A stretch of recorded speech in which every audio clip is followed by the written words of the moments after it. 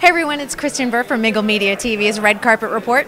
Tonight we're at the Beverly Hilton for the 36th Annual Gracie Awards, sponsored by the Alliance of Women in Media. They're honoring Linda Ellerbee and Access Hollywood's Shaun Robinson, so it's going to prove to be a spectacular red carpet.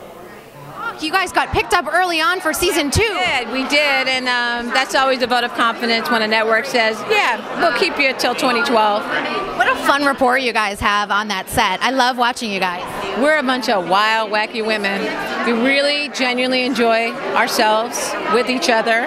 We don't always agree, but we we love to connect, and there's a real, genuine girlfriend vibe going, mommy girlfriends. And you know what I like too? That people aren't pitting you against the view. You each have your own spot. Um, in the whole, you know, media field, and I think that's fantastic that they can each coexist and each serve it, you know, its own purpose. Yeah, and I used to always say, you know, we're not competing with the View. We're not in the same time slot. Yes, we're a roundtable group of women, and that's about where I think the similarity ends.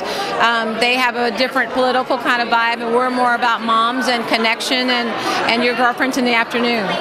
And you're honoring Shaun tonight. I love that. I know Shaun is my girlfriend and my play sister, as we call it, because people think because of the Robinson name that we were sisters. And I wish I had a young sister like Shaun. She's so inspirational. She's so loving, and she's being honored tonight by Dove for her work with girls and self-esteem.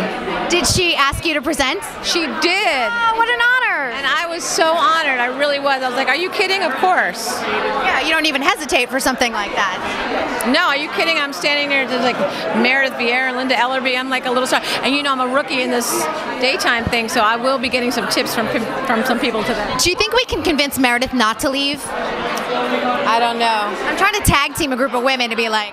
By the way, I'll be stalking her back here when you're done interviewing me. All right, sounds good. Congratulations on the talk.